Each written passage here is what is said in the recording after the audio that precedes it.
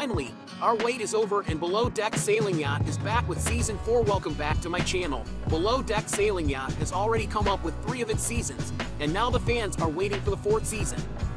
But will the fourth season come? Or has it been cancelled? The fan of the show has got to have a lot of questions, and even they are worried about whether the show will return or not. Here, we are to help you erase all of your worries and update you with the information we have received so far.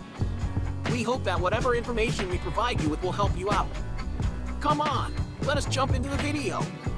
The show Below Deck Sailing Yacht shows that the crews are abroad in the 177-inch sailing yacht and going to attend a charter session in Greece and Croatia. The lives of the crew members who were sailing for the charter session are mainly portrayed in the show. But the physical ability of the crew members is shown. They are young members, and hence working on the sailing yacht makes them go through adventurous as well as beautiful moments in their life. In the show's fourth season, we would see the crew still living in the sailing yacht. At the same time, Captain Lee Rosbach returns with an all-new crew who are bad in behavior on a new ship set abroad.